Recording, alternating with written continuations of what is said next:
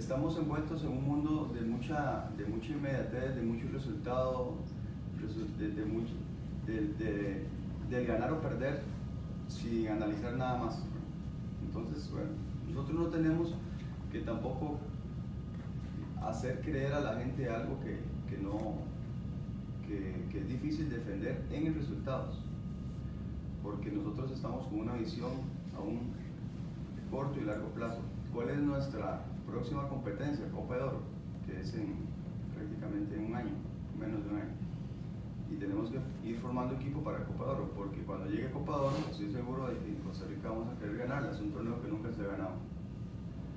Y es muy fácil decir que lindo ganar Copa de Oro, sí, pero ganar Copa de Oro es duro. Es como que Colombia piense en siempre ganar Copa América. Es duro también. Entonces, nosotros como responsables de esto intentaremos plasmarlo en la cancha y ejecutar acciones para que se dé, pero los que informan, que son los que crean opinión y tranquilizan a la gente, son ustedes, son los periodistas, que son los que tienen que hacer entender a, sus lectores, a sus oyentes, de que nuestro equipo está en este momento y que tenemos que buscar soluciones inmediatas y próximas para el que viene. Porque muchos de estos muchachos que tenemos hoy aquí tal vez no estén en el Mundial, pero nos puedan ayudar a clasificar a Costa Rica al Mundial.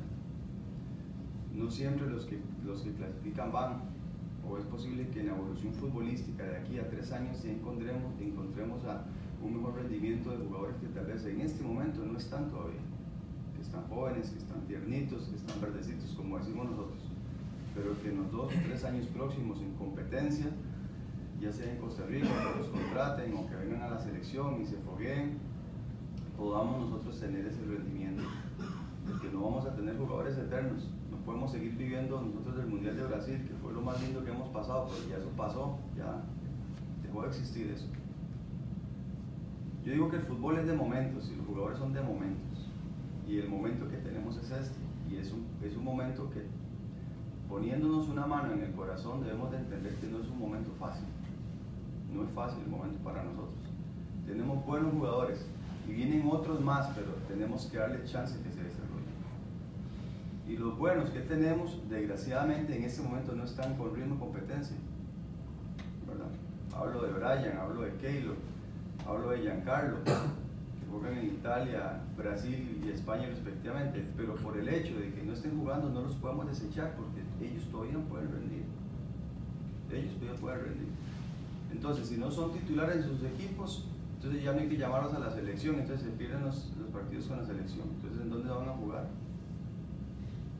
de la mano de eso, con los más jovencitos, es que tenemos que traer esa evolución, evolución del fútbol. Por eso decía que desgraciadamente el fútbol es tan inmediato que todo el mundo quiere ver los resultados ya, todos quieren ver a, Jimmy Marín y a Randa Leal y a Balón Sequeira que tiene 20, 21 años ya jugando partidos de esta calidad al mismo nivel, no, Radamel para llegar a ser lo que fue tuvo que haber pasado un montón de cosas.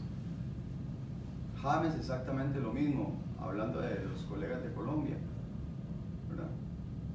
Entonces, tenemos que tener esa calma. Olvidemos los resultados, olvidemos la estadística. Si quieren achicar de que tengo 10 partidos de no ganar como interior, no me importa a mí. A mí eso no me va a hacer ni más ni menos. Ustedes saben cómo soy yo. Porque igual cuando ganamos en Suiza, tampoco nos queremos nada. ¿Verdad?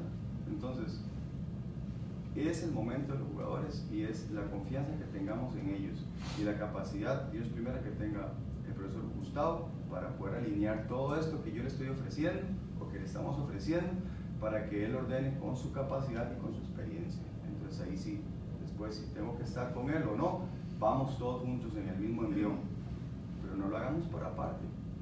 Tras que somos un país de 5 millones de, personas y no vamos a ir separados por todos lados, unamos unámonos con los jugadores, que son los que compiten, con los que juegan. Démosles para adelante. No estamos perdiendo contra el equipo del barrio, estamos perdiendo contra buenas elecciones. Mañana igual podemos ganar, perder o empatar. Pero es que es lo que vemos en la cancha. Por eso es de que algunas veces